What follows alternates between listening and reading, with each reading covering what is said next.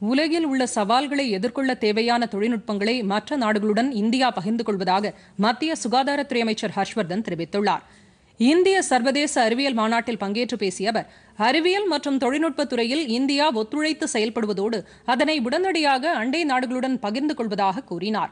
Corona பாதிப்புக்கு பிந்தைய காலத்தில் பல்வேறு நாடுகளின் அறிவியல் மற்றும் தொழில்நுட்பத்துறை அமைச்சர்களுடன் ஆரோக்கியமான விவாதத்தில் கலந்து கொண்டது மகிழ்ச்சி அளிப்பதாக தெரிவித்தார்.